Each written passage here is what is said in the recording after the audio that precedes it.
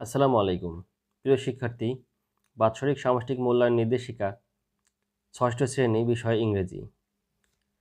বাৎসরিক সামষ্টিক মূল্যায়নে ইংরেজি বিষয়ের নির্ধারিত কাজসমূহ এবং কাজসমূহ করার জন্য নির্ধারিত ধাপসমূহ কী কী চলো দেখে নিয়ে যাক। প্রিয় শিক্ষার্থী, বাৎসরিক সামষ্টিক মূল্যায়ন ষান্মাসিক সামষ্টিক মূল্যায়নের মতোই হবে।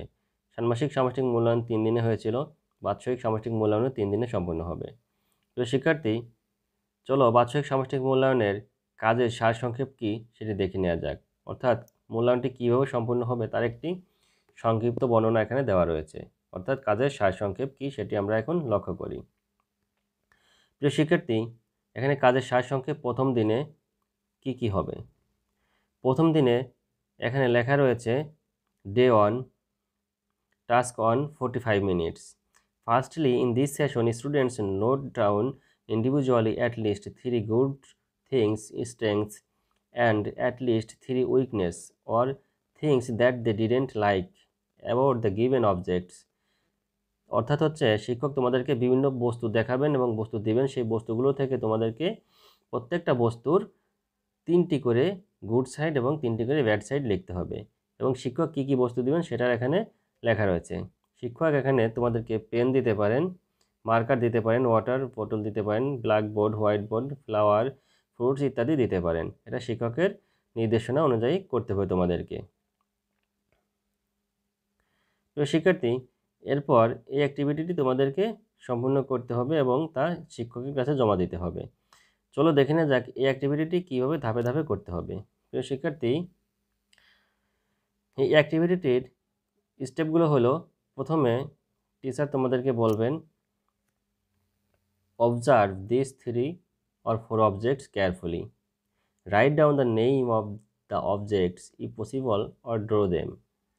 অর্থাৎ তুমি অবজেক্টগুলোর নাম লিখবে অথবা যদি তুমি পারো এগুলার ছবি আঁকবে তারপরে রয়েছে note down three strengths good side what they like about things of each object অর্থাৎ প্রত্যেকটা বস্তুর একটি করে, তিনটি করে গুড সাইড লিখবে note down down three weakness অর্থাৎ তিনটি ব্যাড সাইড লিখবে।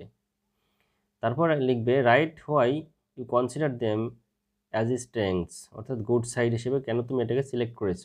অর উইকনেস বা কেন তুমি এটাকে ব্যাড সাইড হিসেবে চিহ্নিত করেছ? And finally submit a copy of answer script to the teacher এবং সর্বশেষ তোমাকে তোমার উত্তরপত্রটি শিক্ষকের কাছে জমা দিতে হবে।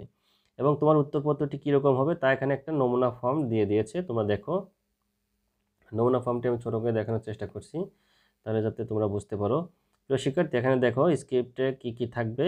স্ক্রিপ্টটা থাকবে এরকম, এখানে তুমি প্রথমে তোমার নাম ক্লাস সেকশন রোল সাবজেক্ট এগুলো লিখবে। এরপরে দেখো এক নাম্বার এখানে লিখছে একটি অবজেক্ট অর্থাৎ এখানে picture and name of the object তুমি এখানে ছবি আঁকতে পারো অথবা অবজেক্টের নাম লিখবে এবং তারপরে লিখবে তুমি এই বস্তুটি কেন পছন্দ করেছ বা এই বস্তুটির তিনটা গুড সাইড লিখবে এরকম, তারপরে এখানে তার তিনটা ব্যাড সাইড লিখবে।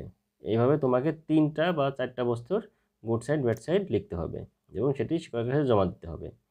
এরপরে চলে আসো, এরপরে তোমাদের পাঁচ মিনিট ব্রেক থাকবে এবং তারপরে আবার একটি কাজ দিবে শিক্ষক, এখানে কাজগুলো দেখো কীভাবে লিখতে হবে। এরপরে তোমরা যে স্ক্রিপ্টটা লিখেছিলে, এই স্ক্রিপ্টটা তোমরা একে অপরের সাথে চেঞ্জ করবে, অর্থাৎ একে অপরের সাথে এক্সচেঞ্জ করবে। কীভাবে করবে সেটা দেখো এখানে বলে দিয়েছে। Exchange the script with their peers. অর্থাৎ একে অপরের সাথে স্ক্রিপ্টটা এক্সচেঞ্জ করবে। এরপর এই এক্সচেঞ্জ করা যে পেপার বা তোমার স্ক্রিপ্টটা, এর উপর যে তুমি গুড সাইড, ব্যাড সাইড লিখেছো, তার উপর তোমার বন্ধু যেটা তোমার স্ক্রিপ্টটা পেয়েছ অথবা তুমি যে স্ক্রিপ্টটা পেয়েছ, তার প্রত্যেকটা গুড সাইডের নিচে তুমি এই গুড সাইডটাকে প্রতি অ্যাগ্রি অথবা ডিসঅ্যাগ্রি সেটা লিখবে এবং তোমার পয়েন্ট অফ ভিউ তুমি এটার উপরে কী বক্তব্য দিতে চাও বা তোমার মন্তব্যটা কি সেটি লিখবে। এটার স্ক্রিপ্টটা কীভাবে উত্তর দিতে হবে সেটা আমি এখানে নিচে দেখে দিচ্ছি। দেখো, এখানে একটি স্ক্রিপ্ট দেওয়া রয়েছে উত্তরের। অর্থাৎ এক্সচেঞ্জ করার পর তুমি কীভাবে উত্তর লিখবে? এখানে তুমি তোমার নাম লিখবে রোল লিখবে শ্রেণি লিখবে, শাখা লিখবে সাবজেক্ট লিখবে। তারপরে প্রথম অবজেক্ট যখন তুমি নিবে এবং প্রথম অবজেক্টে তোমার বন্ধু যেটা লিখেছিল, যেমন সে এখানে তিনটা স্ট্রেংথ সাইড লিখেছে সাইড লিখেছিল। সেই স্ট্রেংথ সাইড অর্থাৎ গুড সাইডের প্রথম গুড সাইডটা সে লিখেছিল যেটা, সেই গুড সাইডটার উপর তোমার পয়েন্ট অফ ভিউ কী? যেমন এখানে জানে I like the pen of the floor because এরকম যে কোনো একটা থাকতে পারে, এখানে তুমি পূরণ করে দেবা তোমার পছন্দ মতো বস্তুটি। এবং এই যে লাইনটা লিখেছে সে, এই লাইনটির উপর লাইনের উপর তোমার পয়েন্ট অফ ভিউ কি? তুমি এটাকে পছন্দ করো বা অপছন্দ করো? তুমি লাইনটার সাথে কি অ্যাগ্রি করো অথবা ডিজঅ্যাগ্রি করো? তুমি যা করো তা এখানে লিখবে এবং কেন ডিজঅ্যাগ্রি করো সেটাও লিখবে। ঠিক একেবারে পরের যে গুড সাইড লিখেছিল, তার উপর তুমি কি পয়েন্ট অফ ভিউ সেটা লিখবে। অর্থাৎ প্রত্যেকটা গুড সাইড ব্যাড সাইডের নিচে তোমার মন্তব্য লিখে দিতে হবে। তুমি অ্যাগ্রি করো অথবা ডিসঅ্যাগ্রি করো। ঠিক একইভাবে এটা শেষে তোমাদেরকে টিচারের কাছে জমা দিতে হবে। এরপরে ডে টু এখন দ্বিতীয় দিনে কি করতে হবে? তোমাদেরকে দুইটা কাজ করতে হবে। একটা হচ্ছে এখানে মূলত ইলাস্ট্রেশন অথবা ভিজুয়ালাইজেশন অর্থাৎ তোমাদেরকে দুইটা ছবি দেখানো হবে অথবা ফ্লোচার্ট দেওয়া হবে। সেই ফলোচার্টের উপর তোমাদের কাজ করতে হবে। ইলাস্ট্রেশন অথবা তোমাদেরকে ফলোচার্ট ইলাস্ট্রেশনের ক্ষেত্রে তোমাদের, এই ইলাস্ট্রেশন অথবা ভিজুয়াল এখান থেকে তোমাদেরকে বর্ণনা করতে হবে। অর্থাৎ ছবি দেখে বর্ণনা করা বা গল্প তৈরি করা। প্রথম যে কাজটি রয়েছে বা ভিজুয়ালাইজেশন রয়েছে, সেখানে তোমাকে বিভিন্ন ধরনের শব্দ দেওয়া হবে। একই টাইপের শব্দ, সেই শব্দর অর্থাৎ উচ্চারণ একই। যে শব্দ দুটি দেওয়া হবে, সেই দুটি শব্দের উচ্চারণ একই, কিন্তু অর্থ ভিন্ন ভিন্ন। সেটা তোমাদেরকে দেওয়া হবে, সেটা কেন ভিন্ন ভিন্ন, এটার মধ্যে কোনটা কি, সেটা তোমাকে বিস্তারিত এরকম ছকের মধ্যে লিখতে হবে। যেমন এখানে তোমাদের দেওয়া রয়েছে একটি এখানে দুটি শব্দ দেওয়া রয়েছে, একটা আছে স্টেশনারি দুইটাই উচ্চারণ কিন্তু স্টেশনারি দেখো, এখানে স্টেশনারি দুইটাই শব্দ স্টেশনারি এখন এই স্টেশনারি দুটি শব্দই উচ্চারণ একই হলেও কিন্তু অর্থগতভাবে ভিন্ন। পরের স্টেপে এসে তোমাকে এই স্টেশনারি কি অ্যাডজেক্টিভ আর পরের স্টেশনারি নাউন এইভাবে তোমাকে আলাদা আলাদা ছক করে তৈরি করতে হবে। সেই ছকের মধ্যে তোমাকে সুন্দরকে উপস্থাপন করতে হবে। এবং তারপর প্রশ্ন করছে যে তুমি এই স্টেশনারিতে কেন এ এবং ই ব্যবহার করেছ? এরপরে রয়েছে are you worried about using a or e in stationery অর্থাৎ এরপরে রয়েছে এরকম একটি বক্স এখানে লেখা রয়েছে, তুমি কি ওই শব্দ দুটির মধ্যে এ এবং ই এর ব্যবহার নিয়ে চিন্তিত? এবং কেন চিন্তিত? সেটি লিখতে হবে। এরপরে রয়েছে তোমাদের let us use a car that is parked outside does a parked car move? Picture an envelope. Is this not writing or office material? এরকমভাবে তোমাদেরকে এই ছকটি পূরণ করতে হবে। এরপরে রয়েছে কমপ্লিট দ্য ফলোয়িং সেন্টেন্সেস তারপরে কয়েকটি সেন্টেন্স দেওয়া থাকবে, দুটি সেন্টেন্স দেওয়া থাকবে, সেই সেন্টেন্স দুটি তোমাদেরকে পূরণ করতে হবে এবং এটি জমা দিতে হবে। এটা হচ্ছে একটা তোমাদের ভিজুয়ালাইজেশন গেল বা ভিজুয়াল গেল অথবা তোমাদের ইলাস্ট্রেশন গেল। এরপর আরেকটি ইলাস্ট্রেশন থাকবে, অর্থাৎ এখানে একটা ছবি দেওয়া থাকবে। এখানে যে ছবিটা দেওয়া আছে, এই ছবিটার উপর ভিত্তি করে তোমাদেরকে প্রশ্নের উত্তর দিতে হবে। এখন ছবিটা আমি পুরো করে দেখানোর চেষ্টা করি একসাথে। এখানে লক্ষ্য করো, একটি ছবি, ছবির মধ্যে একজন মহিলা জানালা দিয়ে কিছু একটা দেখার চেষ্টা করতেছে। এই ছবির উপরে তোমাদেরকে বিভিন্ন প্রশ্নের উত্তর দিতে হবে। চলো দেখে নিই কী কী প্রশ্ন করা হয়েছে এবং কী, কীভাবে উত্তর দিতে হবে। তো শিক্ষার্থী, এখানে লক্ষ্য করে, এই ছবিটির মধ্যে কী কী প্রশ্ন করা হয়েছে? ছবিটির মধ্যে যে প্রশ্নগুলো করা হয়েছে সেগুলো উত্তর লিখতে হবে তোমাদেরকে। Divide in group of four চারটি গ্রুপে ভাগ করতে অবজার্ভ দ্য ইলাস্ট্রেশন এবং ভিজুয়াল অর ভিজুয়াল কেয়ারফুলি দেখতে হবে চিত্রটাকে। Describe on who are what are the illustration এই ছবিটা কিসের উপর ভিত্তি করে? List all the things they like or dislike our illustration এই ইলাস্ট্রেশন একের থেকে তোমরা কী ধরনের জিনিস ডিসলাইক করো অথবা লাইক করো। এবং again discuss and list all the things they dislike our illustration two illustration two আর একটা ছবি থাকবে। সেই ছবিটি থেকে তোমাদের কী ডিসলাইক করো। Make the final draft of the list যে লিস্টটা তোমরা করছ তারা সেটাকে সঠিকভাবে ফাইনালি লিস্ট করো। And finally present the list in front of the class ক্লাসের সামনে উপস্থাপন করো এবং আক্স other groups to give their feedback এবং তোমাদের অন্যান্য গ্রুপ তোমাদের এই লিস্টের উপর মন্তব্য করবে। তো শিক্ষার্থী, এরপরে রয়েছে পাঁচ মিনিটের ব্রেক এবং তারপরে রয়েছে পঁয়তাল্লিশ মিনিটের একটি session in this session the teacher will ask the student শিক্ষার্থীদেরকে বিভিন্ন প্রশ্ন জিজ্ঞাসা করবে। চলো দেখে নিই কী কী প্রশ্ন জিজ্ঞাসা করবে। তো শিক্ষার্থী এখানে শিক্ষক শিক্ষার্থীদেরকে এই প্রশ্নগুলো জিজ্ঞাসা করবে। একটা হচ্ছে কি ওয়ার্ক ইন্ডিভিজুয়ালি নিজে নিজে কাজ করো। কারোরটা দেখে লেখা যাবে না। থিঙ্ক অফ সামওয়ান কারোর সম্পর্কে ভাবো, যাকে তুমি চিঠি লিখতে পারো।